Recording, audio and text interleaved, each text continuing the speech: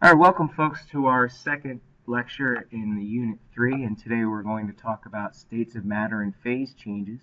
Now, you've already observed some of the phase changes in class and what kind of things happen with that, but I'm going to elaborate on that a little more. But I'm also going to talk about the different states of matter and what separates one form of matter versus another. So why don't we get started here?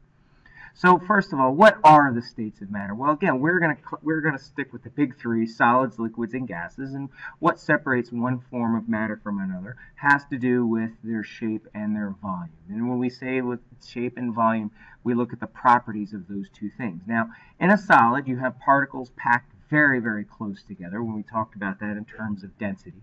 And in solids, because they are packed very close together, almost shoulder to shoulder, they have a definite shape. Solids will keep their shape. But in terms of their volume, it's easily easily measured. We can either measure it length times width times height, pi r squared, any other equations that you may use, or we can use the displacement method. But we know that solids have a definite measurable volume. Liquids, well, now we're talking particles a little bit further apart. And in the case of liquids, because they're further apart, they're not packed shoulder to shoulder, they have this ability to flow. And that's why we call liquid, uh, you know, and gases as fluids, because they, they have the ability of those particles being able to move over one another. But that also means that liquids do not have any definite shape. They typically take the shape of the container that they're in but they still are close enough to have a definite volume, and it's very easy to measure the volume of liquids using a graduated cylinder or uh, some other type of volumetric device. The third phase, gases. Now with gases, we're talking lots of energy. Particles are moving over one another. All right, so that means that with gases, they typically do not have any definite shape or a definite measurable volume. Now, we can find the volume of gases by displacement, but it's also very difficult to find the volume of gases directly. So if you want a good example and a good picture of what separates a solid, liquid, and gas at the molecular level, click on the link at the bottom of the page before you move on to the next slide.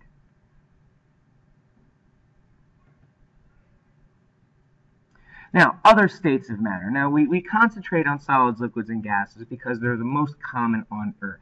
But there are other phases, one of them being plasma, the other one being the Bose-Einstein condensate. Now, plasma typically exists at very high temperatures. And there are some examples of plasma on Earth. If you've seen been in a lightning storm and when you see lightning, you're seeing an example of plasma. And it's essentially a gas with a charge, with nuclei and electrons that we'll talk a little bit more about in class.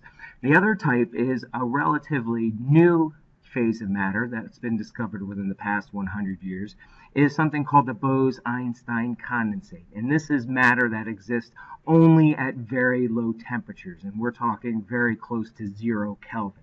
And at that temperature, we have groups of atoms that act as one particle and act differently than other phases when matter gets that cold. But again, we will talk about that a little bit more in class.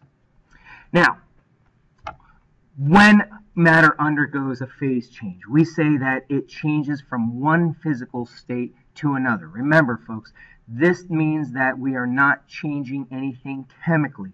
So when I take water and I boil it to steam or I freeze it to ice, it still has the same chemical structure of H2O. Now, we say that phase changes usually require heat, either me adding heat or removing heat in order for that phase change to occur.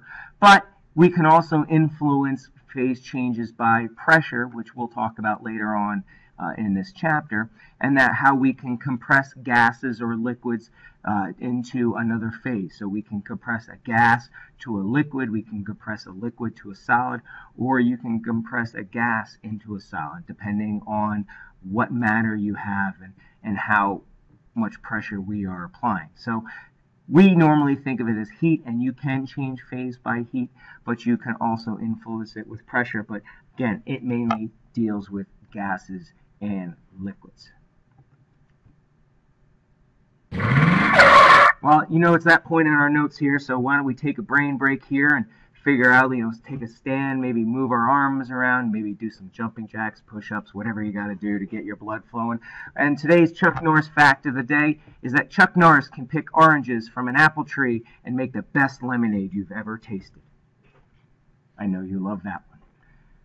All right, moving on here. So now that we know about phase changes, what are the main phase changes they have? Well, we have six main phase changes. Now, we have liquefaction, solidification, condensation, vaporization, sublimation, and deposition.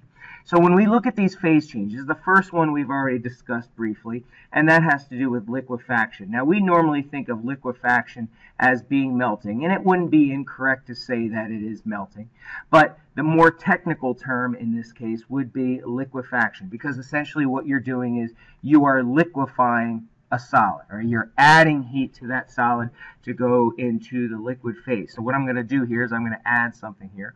So when we look at liquefaction, in order for us to liquefy something, we have to add heat. So what I'm going to do is I'm going to put a plus sign there to indicate that we need to add heat in order to liquefy or melt a solid into a liquid. The opposite end of that is solidification. We commonly think of as freezing. We take a liquid and we convert it into a solid. And for most matter, we have to remove heat in order for that to occur. So I'm going to put in minus H here. Now, keep in mind, folks, these two phase changes occur at the same temperature. So that when we look at water, water liquefies and freezes at 0 degrees Celsius. So it's the same temperature that these two phase changes occur, the difference being whether we're adding heat or we are removing heat. In fact, let me clean this up here a little bit, make it stand out some more. So I'm going to erase this here and we're going to put this in another color. So I'm going to say we're going to put this at 0 degrees Celsius. Now, the other types of phase changes we have here, we have condensation, and that doesn't, that's the same name we keep there, and that's when a gas or a vapor condenses down into a liquid, and in order for that to occur, we need to be able to remove heat, take heat away. The opposite end of condensation is what we call vaporization. Now, vaporization has two different types of vapor, vaporizing, going from the liquid phase into the gas or vapor phase we have evaporation or boiling, and they both require heat. And I'm going to put a plus H here to say that they both require heat. The difference being, though, is evaporation happens below the boiling point, the temperature, like for water, which is 100 degrees. So you know that if you have a cup of water sitting out on a table, even though it's not even close to 100 degrees, eventually that water will evaporate out. Boiling, on the other hand, happens at the boiling point. So for water, which is 100 degrees, we know that when I heat it up to 100 degrees, it's going to boil. It's going to go into the gas or vapor phase. And going back here with condensation for water, that happens at 100 degrees Celsius. Now the other two types that you may or may not be familiar with are sublimation and deposition. And sublimation is when a solid converts to a gas or a vapor, and deposition is where a gas or a vapor converts right into a solid. Now, sublimation, we need to be able to add heat in order for that to occur. And being that you're watching this probably the night before Halloween, you might see me see some examples of sublimation if somebody uses dry ice to produce gas. Well, dry ice undergoes sublimation it skips the liquid phase altogether. So if you take dry ice, you're going to see it's going to turn right into carbon dioxide vapor. And deposition is just the opposite. We remove heat from a gas or a vapor and we produce a solid. And that's typically how uh, dry ice is made, is going through the process of deposition. Another example of sublimation you may, may or may not be familiar with is mothballs. And mothballs is a chemical made called naphthalene, which goes right from the solid phase to the vapor phase. So those are the different phase changes. Just keep in mind they happen at the same temperatures, all right, for each of the phase changes. It just has to do if whether we're adding heat or we are removing heat. Now, how can I tell if a phase change is occurring? Well, you're already seeing one thing in our lab is that's just observing the change in physical state. When you melted the ice, when you boiled the water, you saw it happening. So you then made just a simple observation, a qualitative observation. See what's going on. Is there water in the ice? Is the water boiling? Do I see steam coming off? That's a good way to indicate how a phase change has occurred. The other way is to look at temperature. Remember that when matter undergoes a phase change, temperature remains the same.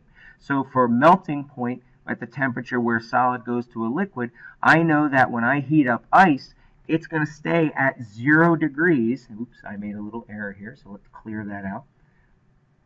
We know that ice is going to stay at zero degrees Celsius until all of it has melted to water.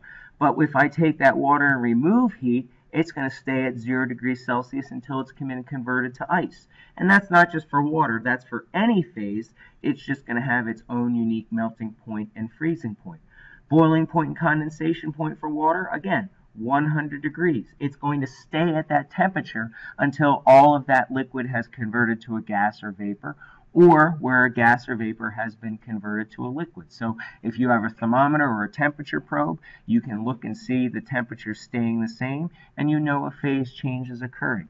And then the next way is to look at a temperature versus time graph. And you made this in your effect of heat on the melting point of ice or the melting of ice and that's going to be the next two slides here that we're going to go over in class tomorrow. But basically what you look for is you look for plateaus. You look for the flat points in the graph to help you indicate where that phase change is occurring.